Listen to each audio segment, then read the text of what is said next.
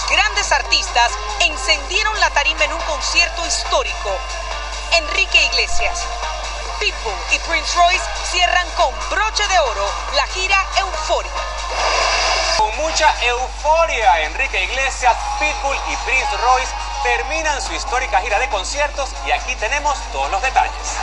Y cuando regresemos, Enrique Iglesias, Pitbull y Prince Royce hacen historia. Tenemos las imágenes del cierre de esta gran gira que recorrió a todo el país. Marc Anthony va a aparecer. Ay, Dios mío. Y también va a aparecer estas imágenes que les tenemos en pantalla, pero cuando regresemos, porque la euforia que se vivió en Miami con Enrique Iglesias, Pitbull y Prince Royce, la tiene que ver usted aquí en Sal y Pimienta.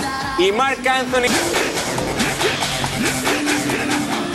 Regresamos a Sal y Pimienta con estas imágenes de anoche. Miami se llenó de música y vibró al ritmo de ritmo de Enrique Iglesias. La superestrella española finalizó su apoteósica gira Euphoria World Tour con un lleno total y unos acompañantes, señores, de lujo. Mr. 305 Pitbull y el chatero del momento, Prince Royce.